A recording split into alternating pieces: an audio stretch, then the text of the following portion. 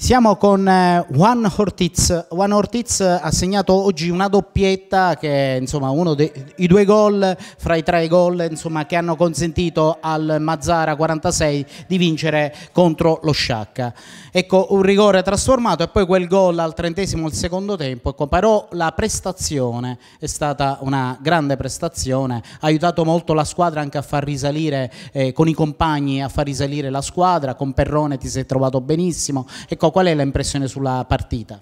Guarda, anzi i gol non ci interessa chi ha fatto gol, sino sono contento con la prestazione di tutti quanti. Ho visto una squadra in campo, ho visto che, che a ogni palla c'erano due, due giallorossi, quindi questa è una cosa importante. Che magari in partite in Coppa ci siamo rimasti con questo sapore amaro di restare fuori, no?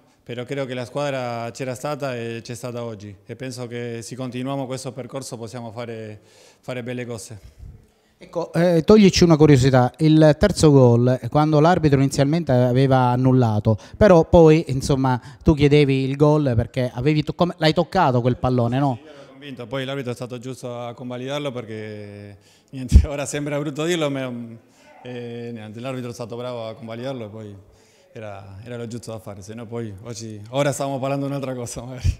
Ecco, con Perrone l'intesa cresce, insomma vi trovate a meraviglia, tu vai a colpire di testa, lui sta vicino a te, ecco quello che vuole un po' Giovanni Iacono, no? Ecco, è un ragazzo che, che ha molta corsa, molta eh, fisicità, diciamo che, che niente, oggi ci siamo trovati bene, ancora manca tanto lavoro, oggi la, è la prima partita, ma eh, penso che con lavoro e con bueno, quello che, che dobbiamo fare poi per altre partite possiamo ancora fare meglio.